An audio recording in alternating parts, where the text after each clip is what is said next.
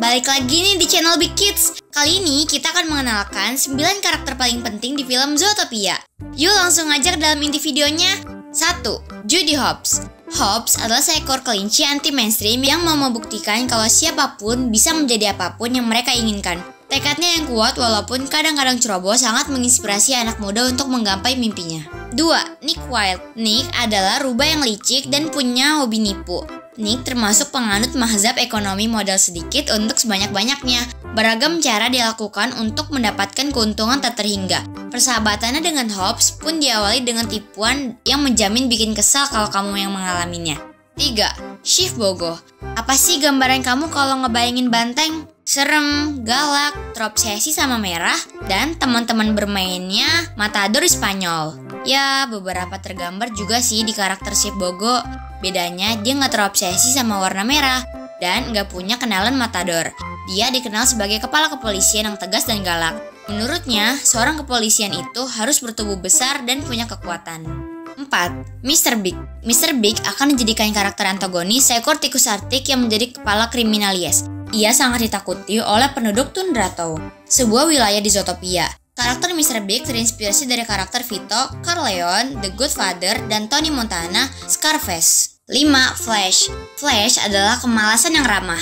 Dia sopan kepada Judy Hobbs dan berbicara cukup profesional yang membuatnya terdengar lebih cerdas daripada penampilannya. Flash tampaknya sangat mengenal Nick Wilde dan berbicara kepadanya dengan cara yang santai dan ramah.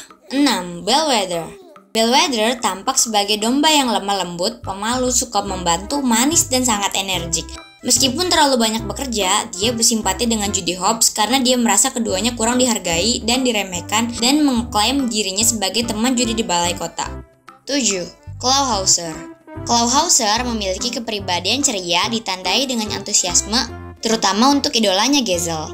Dan juga mungkin pada tingkat lebih rendah pekerjaannya sebagai wajah pertama yang Anda lihat ketika Anda berjalan di ZPD. Dia dapat cenderung mengabaikan beberapa aspek pekerjaannya jika beberapa hasratnya yang lain terlibat. 8. Gezel Gezel disukai hampir seluruh warga Zootopia, mengingat statusnya sebagai bintang pop terkenal. Meskipun menjadi idola pop, Gezel tidak pernah melihat dirinya di atas orang lain. Dia rendah hati dan baik hati. Sifatnya yang ceria dan menerima tidak menunjukkan batasan seberapa jauh dia berpikir tentang orang lain berdasarkan spesies. 9. Phoenix Finik, pemarah dan keras, sering mengakibatkan tindakan kekerasan setiap kali kesal. Percaya diri dan tanpa basa-basi, Finik sering kali mencoba menakut-nakuti orang di sekitarnya dengan mencoba ancaman verbal dan bahkan fisik. Meskipun bukan gangguan psikologis yang nyata, Finik adalah contoh klasik dari seseorang dengan neopolein kompleks yang agresif meskipun bertubuh kecil.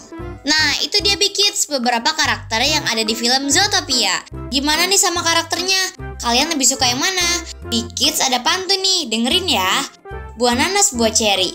Dicampur gula enak sekali. Cukup sekian pertemuan kali ini.